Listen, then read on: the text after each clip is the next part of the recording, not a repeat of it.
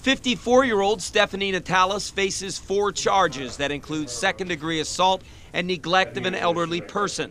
The alleged victim is Ntallas's 89 year old mother.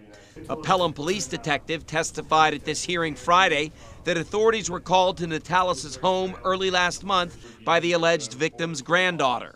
There were bite marks, there were uh, bruises, um, there were the cuts or stab wounds, and uh, one of the reports also states that there were clumps of hair that were coming off on the stretcher. At the point where she was admitted to the hospital, she was diagnosed as being extremely malnourished as well as extremely dehydrated.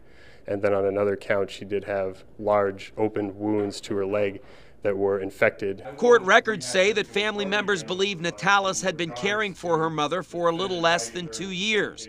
When police arrived at the house in August, they say Ntallas was highly intoxicated.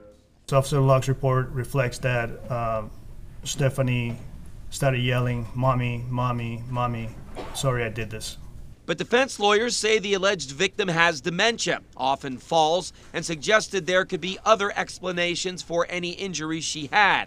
Ntallas's daughter says to her knowledge she was never abusive.